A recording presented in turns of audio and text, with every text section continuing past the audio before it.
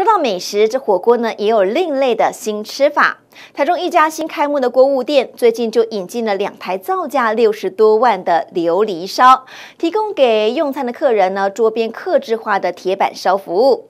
业者表示，比起传统的铁板，这琉璃烧呢，透过红外线导热加温的速度是快上五倍，能够把牛排跟海鲜的水分瞬间锁住，让客人吃火锅的同时，也能够品尝到肉质鲜甜的滋味。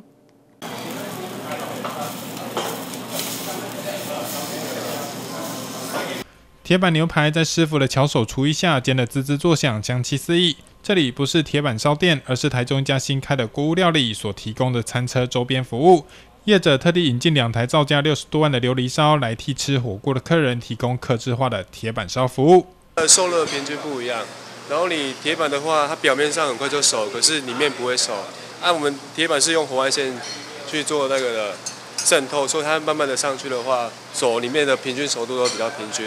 琉璃烧它是一种最新的科技，它是利用远红外线穿透的力量，采取活动式范围，也就是说，我们可以在每一个桌子的旁边，或者是包厢的旁边，为每一桌的宾客提供最贴心细致的服务。它可以将食材以宾客所要求的方式。的料理方式来呈现。行动餐车不用铁板，改用琉璃烧，透过红外线导热，加温速度快上五倍，因此能够迅速锁住肉排和海鲜的水分，所以更能够保留食材的原味。同时，也因为层层受热均匀，所以也不怕吃到没有熟的肉品和海鲜。我们的肉汁啊锁在里面，不过外面的话，它很快就把它的血水都那个流失掉。可是琉璃的话，它的肉汁啊跟那个保它的鲜味都把它保证封储存在里面。我们相信。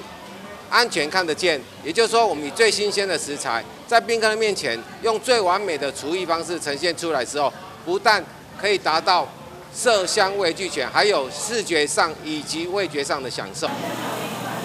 而且我都帮客人挑起来，让吃饭像看秀，不管在视觉还是味觉上，都让客人充分得到满足。业者有信心，靠着创新服务和食材新鲜，能在中部的餐饮市场闯出一片天。